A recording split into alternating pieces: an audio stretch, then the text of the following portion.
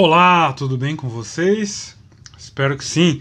Sejam todos muito bem-vindos aqui ao nosso canal Transcendência. E neste vídeo eu vou atender alguns pedidos feitos através dos comentários, através do e-mail e também através do direct lá no Instagram, lá no meu perfil, né, no, Instra no Instagram, no Instagram, Transcendência André Muniz. Ou seja, eu vou responder a perguntas de caráter mais pessoal. Por incrível que pareça, a gente que se interessa em saber detalhes sobre minha pessoa ou opiniões pessoais minhas sobre as coisas. Eu não vejo em que, em que né, tais informações podem enriquecer as pessoas, uma vez que a minha vida é a mais comum das vidas e a minha individualidade não tem qualquer relevância para os temas que nós tratamos aqui no canal. No entanto, em respeito aos assinantes e aos membros, eu vou responder algumas perguntas selecionadas. Espero que não seja maçante. Espero que vocês não fiquem entediados com as respostas, mas acredito que algumas pessoas devem ter curiosidade de saber ou de ver, enfim. Vamos lá. Então deixa eu pegar aqui as perguntas. Então a primeira pergunta: você lê quantos livros por ano? Bom, isso varia muito de um ano para o outro e também varia de acordo com o tamanho do livro e a complexidade do tema. Então, há livros que lemos rápido, há outros que são é, grandes e nós lemos devagar, ou outros que são grandes e nós lemos rápidos, porque nós lemos rápido porque a temática do tema é muito simples, e há outros que são fininhos, mas muito complexos e, portanto, demoram muito mais para se absorver. Eu nunca me preocupei em fazer esse tipo de conta. Então, para satisfazer é, a curiosidade de quem pergunta, eu usei como base o ano passado, o ano de 2020, porque eu anotei na, na agenda os livros que eu estava começando a ler e os livros que eu li. Então, na média, em 2020 eu li de 3 a 5 livros por mês, com exceção de março, um mês que eu li dois livros apenas. Então, no total, no ano passado, eu li 43 livros ao longo do ano. Eu não sei se nos outros anos eu li a mesma coisa, ou se li mais ou se li menos.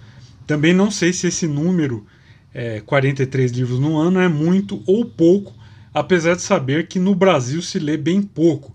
Eu acho que é menos de um livro por mês a estatística aqui. Então não sei. É, eu acho que. Não sei se isso é relevante também, essa pergunta. Mas enfim, em 2020 eu li é, 43 livros ao longo do ano. Outra pergunta. Quantas línguas você traduz e ou conhece? Bom, de línguas contemporâneas eu traduzo inglês, francês, italiano, espanhol e chinês. De línguas clássicas eu traduzo sânscrito, pali, latim, grego antigo, hebraico bíblico e chinês antigo. E eu tenho umas poucas noções de alemão, de árabe, de copta, de russo e de japonês também. Mas eu nem conto porque não são línguas que eu lido com frequência, né? São línguas que eu estudei há anos atrás, que eu esqueci muita coisa também. Então eu nem conto essas como sendo línguas que eu teria capacidade, por exemplo, de traduzir adequadamente um texto, de compreender bem um texto. Agora, das línguas que eu, que eu disse, né, que eu, as contemporâneas que eu traduzo e das, e das clássicas, eu pratico muito pouco essas línguas na forma falada, né? ou seja, o meu forte nessas línguas é o uso instrumental, não a conversação. Mesmo porque eu tenho contato com muito poucas pessoas que falam essas línguas, ou que eu tenho necessidade de falar com elas nessas línguas. Então o forte acaba sendo a tradução mesmo, a parte instrumental é, da utilização dessas línguas. Outra pergunta. Então, qual o seu método para aprender línguas? Bom, na verdade eu nunca tive um método muito fixo. Eu comecei a sentir necessidade de aprender línguas à medida que eu queria ler sobre assuntos cuja bibliografia em português era muito escassa. Então, meu método é, era pegar os textos que eu queria ler, sentar com o dicionário ao lado e traduzir de modo literal e depois tentar reconstruir as frases de uma forma que elas fizessem algum sentido. Eu fiz alguns cursos de línguas também, mas o grosso mesmo eu aprendi dessa forma, na marra. É, não é um método muito sofisticado, mas eu também não sou uma pessoa é, sofisticada, então foi o que funcionou para mim. Então vamos lá para outra pergunta. Por que você se interessou e optou pelo budismo? Bom, a minha maior e mais remota influência foi a das artes marciais. Então eu era pequeno, eu comecei a treinar artes marciais no ano de 1985 e eu tinha ali uma grande curiosidade por aqueles elementos que havia no altar da academia. Tudo aquilo me parecia bastante misterioso. No entanto, eu cresci em um ambiente muito católico, o que me fez aos 11 anos desejar ser monge católico e padre. E essa vocação me fez enfrentar uma perseguição enorme por parte do meu pai e dos colegas da escola. Né? Mas mesmo assim eu persisti na vocação. E quando eu tinha uns 15 anos, estudando a chamada teologia alexandrina, eu comecei a me interessar ali pelos neoplatônicos, né? E aí isso me levou ao Amônio Sacas e às origens indianas. Então eu juntei a curiosidade pelos elementos do, dos altares com o aprofundamento nas doutrinas que admirava, né, como raízes ali do neoplatonismo e de outras escolas de pensamento antigas, e acabei budista. Outra pergunta: quando você virou maçom e por que você quis ser maçom? Bom, eu fui iniciado na maçonaria em 2005 o meu interesse primário era o esoterismo ocidental, expresso na maçonaria. Na verdade, eu comecei a me interessar seriamente pelo tema maçonaria por volta de 1998, 1998 1999. Então eu li ali já uma porção de livros e estudos sobre a maçonaria antes de entrar na maçonaria. Então é, eu, esses estudos me deixaram ao ponto de conseguir, por exemplo, identificar os erros cometidos pelos maçons no rito da minha própria iniciação.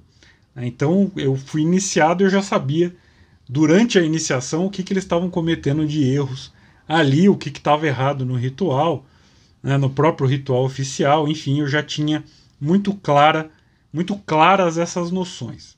Né, então foi mais ou menos isso. Outra pergunta: quais as suas relações com os outros templos budistas e escolas budistas que não a sua? Bom, não há relações. Né? Então eles fingem publicamente que eu não existo, mas adoram falar de mim pelas costas, né, nas suas rodas de fofoca, e também adoram imitar as coisas que eu faço, os projetos que eu lanço, etc. E eu evito saber sobre eles para não ter problemas de digestão. Em geral, a simples visão deles né, em fotos da internet ou ler alguns parágrafos dos textos que eles escrevem é o suficiente para piorar os meus problemas gástricos. É quase que uma reação imunológica que eu tenho a esse pessoal. Então, não há relações e eu procuro evitar até olhar a cara deles em fotos pela internet. Outra pergunta: você gostaria de ter sua escola budista reconhecida? Bom, eu não entendi muito bem o que você quis dizer com reconhecida. A minha instituição budista ela tem CNPJ, ela declara todo mês para o governo, tem que ter contador, né, realiza assembleias, tem estatuto, assembleias gerais ordinárias todo ano, está né, com a parte burocrática ok, ou seja, é reconhecida pelo governo do país como igual a qualquer outra instituição religiosa em território nacional com os mesmos direitos, proteções e deveres. E esse é o único é, reconhecimento oficial que existe ou que pode existir no Brasil. Em relação à parte doutrinária, né, ela, a instituição que eu fundei segue a escola exegética Tendai, o Tiantai, né, que fora do Japão e da atual Coreia do Sul, nunca foi uma instituição estruturada com hierarquia institucional, estatutos próprios ou algo do tipo. Era, assim como todas as demais escolas budistas chinesas, uma escola exegética. Então, qualquer estudo acadêmico sério demonstra isso com muita tranquilidade. Então, sendo assim, não há nenhum dono de escolas exegéticas e ninguém com legitimidade para reconhecer ou não reconhecer algo do tipo. A minha ordenação é perfeitamente regular do ponto de vista tradicional, minha ordenação como um monge budista, né? E aquilo o que incomoda, aquilo que incomoda tanto as pessoas é o fato de não haver de minha parte uma submissão institucional a seitas estrangeiras. Então não há, não houve e nem nunca vai haver. Né? Nós somos instituição brasileira sem vínculos e sem submissão nenhuma a nenhum grupo estrangeiro. O meu critério é o cânone budista e não as invenções malucas que a cada ano aparecem entre as seitas asiáticas. Eu não quero imitar é, chinês, tibetano, é, japonês. Eu sou um budista brasileiro. Meu interesse é o budismo e não é, o exotismo de outros países. Ah, bom, outra pergunta. Por que você não responde às críticas que fazem a você em outros canais, nos comentários ou por e-mail? Aí ele, ele dá aqui o. Né, ele pergunta: fazem a você em outros canais e dá aqui vídeos de outros canais que teoricamente falaram sobre mim ou me criticaram.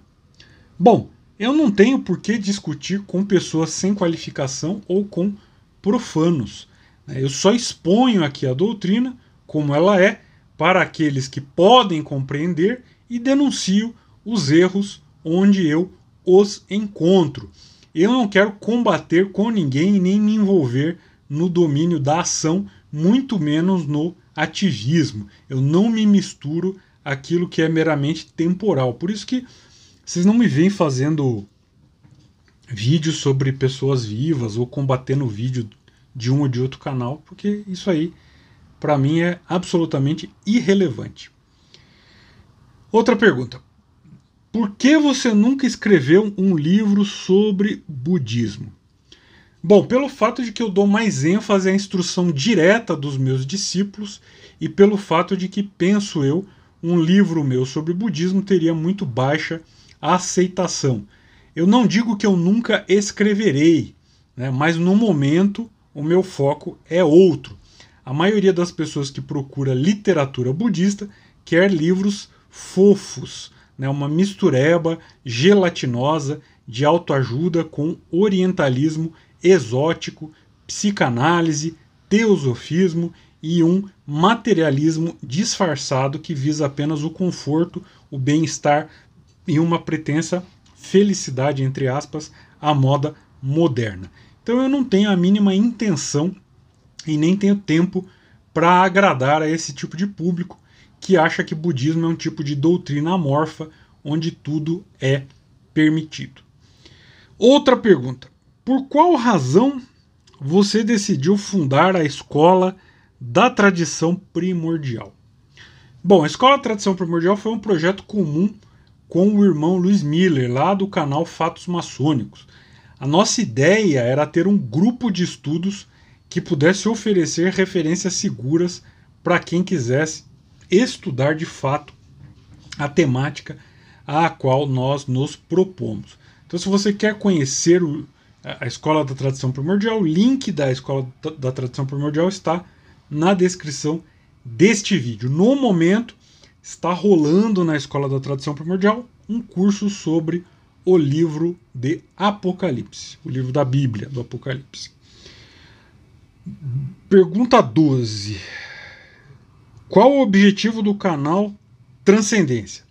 Bom, o objetivo do canal Transcendência é manter uma porta aberta para pessoas que falam português. Então, numa internet caótica, né, com informações sem base, sem fundamentos cheia de teorias conspiratórias e bobagens. Então a ideia é, é apresentar material de fontes sólidas, sem invenções e sem achismos. Né? Então manter um canal como Transcendência não é uma tarefa fácil. Então cada vídeo é cuidadosamente preparado para não ter erros ou brechas.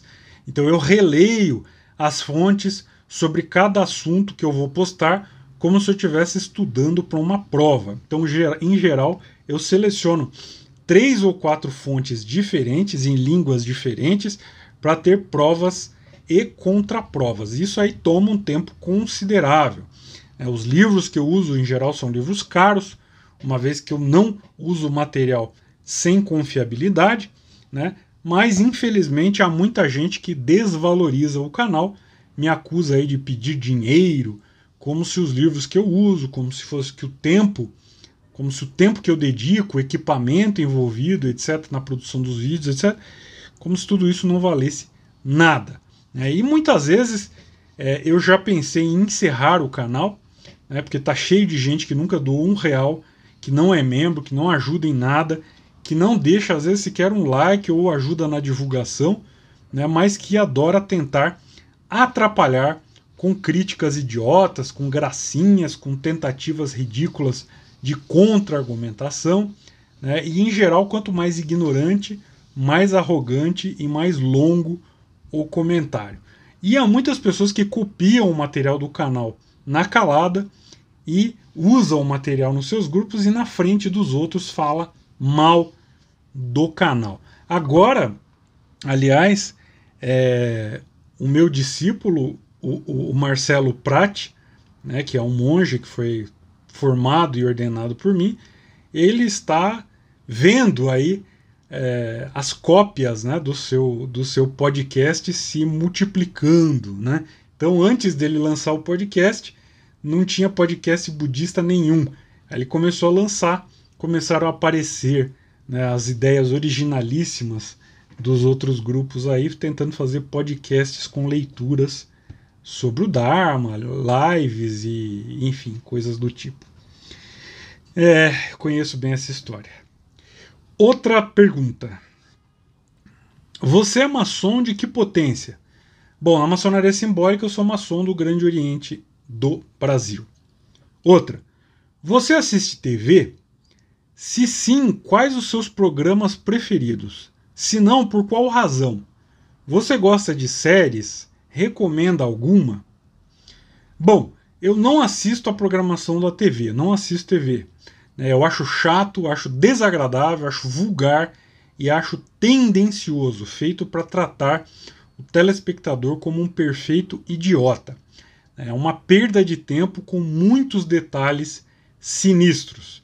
E as poucas vezes, por exemplo, em que eu estava em uma sala de espera de um médico ou de um laboratório e ali tinha uma TV ligada, eu geralmente colocava os fones de ouvido no celular, desviava o olhar ia ver outra coisa, né? Porque só o barulho, o som daquelas pessoas histéricas gritando, né? Aquelas musiquinhas irritantes já era o suficiente para me deixar incomodado. Há muitos anos atrás, eu senti um certo prazer mórbido em ver programas toscos, né, tipo Escolinha do Magal, Teste de Fidelidade do João Kleber, Casos de Família, aquele que a mulher comia cheeseburger para se prostituir, não, se prostituía para comer cheeseburger, né? Ratinho e outras coisas do tipo, né? É, mais antigo ainda, eu gostava daquele documento especial, que era uma verdadeira revista eletrônica do mundo cão.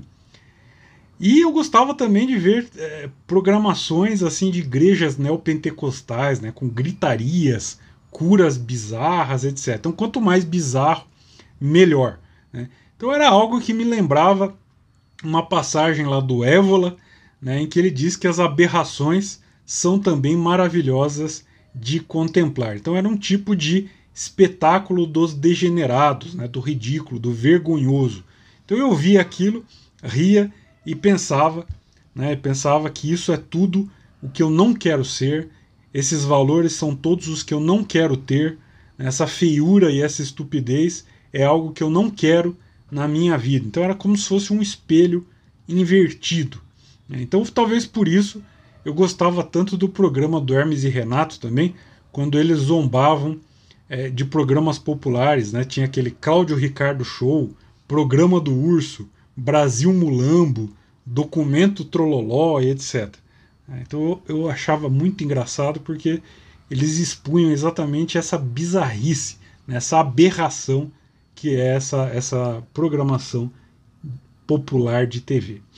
Bom, hoje eu assisto às vezes umas novelas das, da década de 1980 e 1990, né? mas eu assisto para relembrar da minha vida naquela época, né? na época em que eu era menino.